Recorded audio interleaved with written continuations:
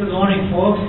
Uh, I'm so delighted to see you here and uh, having the opportunity to hold this important meeting here at the University of Denver. On behalf of DU and especially our uh, faculty and students at the School of Engineering and Computer Science, I want to welcome you.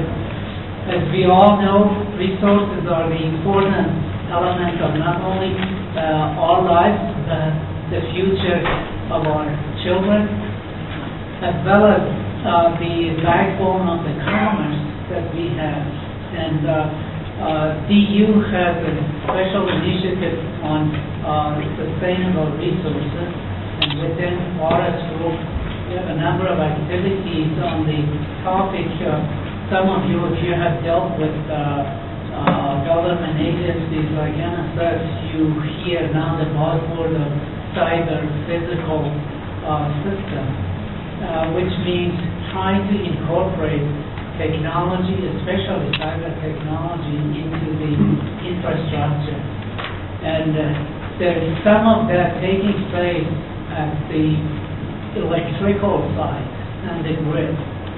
But you don't see uh, people talking about the water side, which is a key element of all of the activities. And so we have taken on the initiative of looking into uh, cyber physical systems, especially related to water resources and water management, with the idea of developing sensing technologies that could provide better understanding of the usage and availability of the water globally, nationally, and also developing of uh, extensive uh, mathematical models that would enable uh, coming up with a decision that would not only help engineers and technologists, but those that are involved in the policy making and uh, those that provide decisions in terms of water management.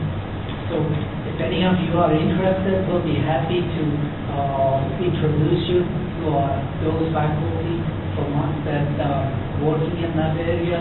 But want to again emphasize the importance of uh, water management uh, for the, uh, both the commerce and the future of the quality of the life we are all uh, caring about. So I'm delighted that this meeting is taking place, and uh, we are delighted to have it at DU. I want to thank the uh, uh, Clean Tech Technologies for bringing this here.